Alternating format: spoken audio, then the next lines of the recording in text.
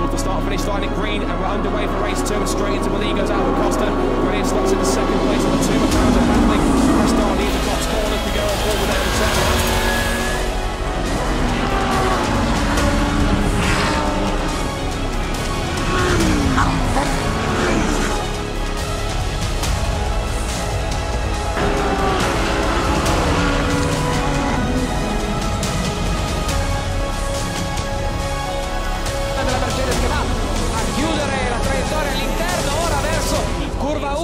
Sul traguardo separati da 11 millesimi 2 sempre la Ford